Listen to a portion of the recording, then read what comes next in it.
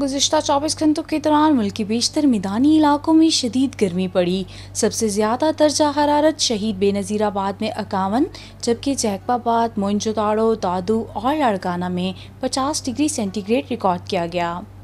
जुम्मा से पीर के दौरान पंजाब, इस्लामाबाद, खैबर पख्तूनखा शमाल मशरकी बलूचिस्तान, कश्मीर और गिलगित बल्तिस्तान में आंधी और गरज चमक के साथ बारिश की पेश गोई।